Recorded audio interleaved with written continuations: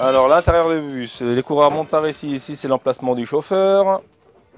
On tire de temps en temps le rideau quand le bus est à l'arrêt pour pas que les gens euh, regardent ce qui s'y passe, parce qu'il y en a qui collent leur nez au pare-brise.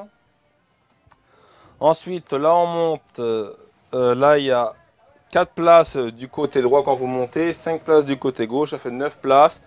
Sur les sièges, vous avez euh, des noms de coureurs. Euh, généralement, bah, Sandy Cazard, lui, il aime bien euh, être le premier dans le bus et espérons qu'il soit le premier en course aussi. sous les sièges, bah, vous avez des, coffres où chaque coureur peut mettre un petit peu ce qu'il n'a pas besoin d'emmener tous les jours. Et généralement, il reste les chaussures de course et le casque quand ils n'ont pas besoin d'être nettoyés. Ensuite, vous avez euh, une boîte avec toutes les oreillettes. Chaque coureur se sert euh, de son oreillette avant de prendre le départ de sa course. Bah là, il y a les jeux de dossard aussi. Pareil, tous les 2-3 jours, il y a un nouveau dossard qui est, euh, qui est donné, un nouveau jeu. Pour patienter pendant le trajet, un écran plat où chacun peut mettre le film qu'il veut ou le DVD qu'il veut pour écouter de la musique. Ensuite, on avance du côté si, de ce côté-ci, vous avez un toilette, euh, comme à la maison. En face, vous avez deux cabines de douche qui s'ouvrent de l'intérieur. Voilà. Deux cabines de douche. Là, il y a la deuxième. Bon, elles sont quand même assez spacieuses. Hein. Quand il y a un peu de transfert, c'est toujours agréable de prendre sa douche avant d'arriver à l'hôtel. Ensuite, en face, vous avez une petite buanderie où euh, les coureurs qui ont une chemise ou le personnel qui ne veulent pas avoir des affaires pliées bah, utilisent la buanderie pour, euh, et la penderie pour mettre euh, les chemises. Vous avez une serviette pour chaque coureur, pareil. Ensuite, il y a une entrée arrière où il y a une toilette au pied également, ça fait qu'il y a deux WC. Euh, au cas où les coureurs euh, stresseraient un petit peu euh, tous ensemble. Ensuite, bah, vous avez après les deux douches, vous avez deux placards. en haut du premier placard, vous avez les casques de contre-la-montre. Ensuite, vous avez des stocks de ravitaillement, hein, des barres énergétiques. Ensuite, on continue à avancer. Là, on arrive vers l'arrière du bus. Vous avez un boîtier avec une parabole. Euh, celle-ci eh ben, est mise en route à l'arrêt du bus, puisqu'en roulant, la parabole prend trop de place et euh, elle risquerait de s'arracher. Vous avez un lecteur DVD, un lecteur de CD, pareil, pour euh, pouvoir mettre un petit peu ce qu'on a bien envie d'écouter et d'entendre. Là, vous avez une machine à café.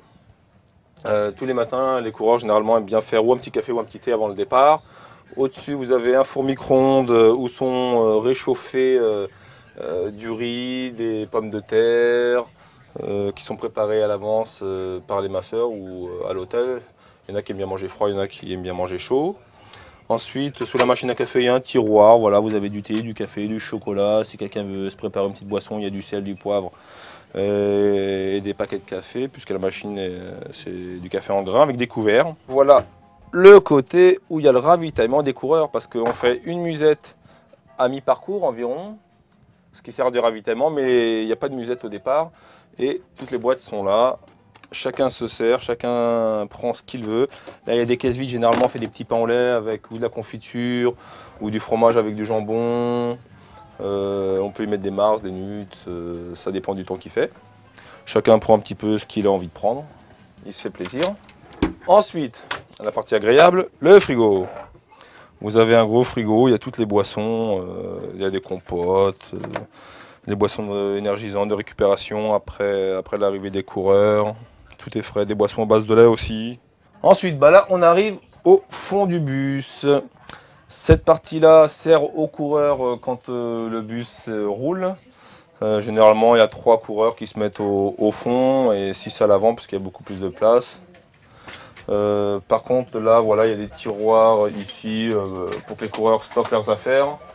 Euh, parce qu'il n'y a pas de, trou au fond des sièges. Là aussi, pareil, vous avez un écran plat, une télé à l'arrière du bus. Là, on peut redescendre par l'arrière. À chaque entrée de bus et sortie, il y a un rideau pour que les coureurs gardent leur intimité. Et voilà le travail.